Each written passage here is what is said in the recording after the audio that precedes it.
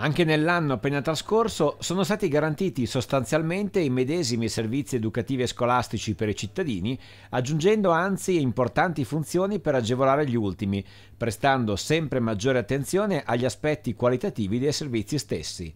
Una migliore gestione dei servizi ci ha consentito e ci consentirà di applicare delle sensibili riduzioni alle tariffe a carico delle famiglie.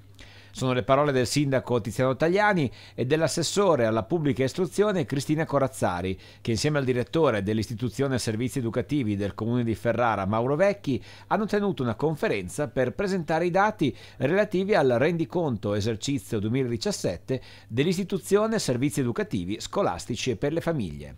Il bilancio si è chiuso con un avanzo di amministrazione disponibile al netto dei fondi vincolati e accantonati di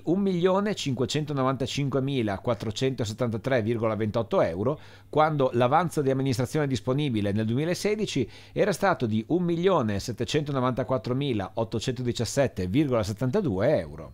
Dai risultati ottenuti si è conseguito ad una anticipazione importante che riguarderà il prossimo anno scolastico.